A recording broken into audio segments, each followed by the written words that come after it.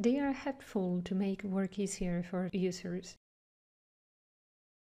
They can access a list of templates for documents, folders, emails, etc. and choose the content they want. They select the place where they want to create a new content and click the Create button.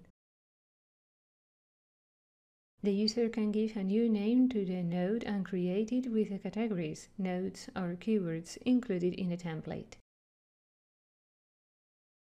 If we go to taxonomy, we can see that we have created a new folder structure based on the available template. We can also try creating new documents based on the templates. The procedure is similar.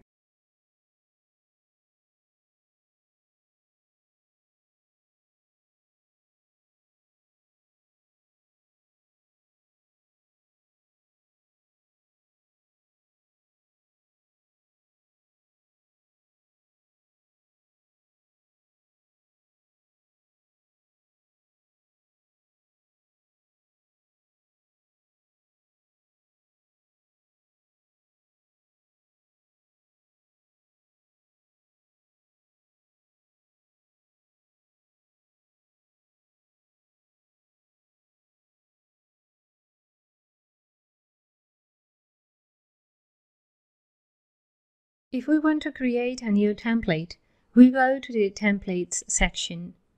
We decide what type of node we want to create.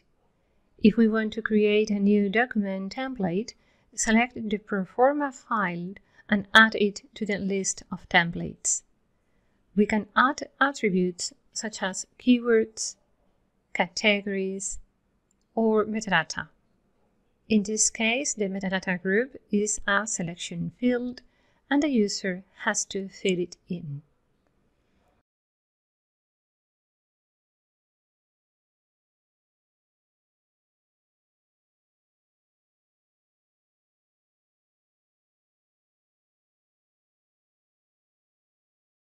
As we can see, a new document has been created based on the new template that already shows the keyword, the categories, and a group of metadata filled in.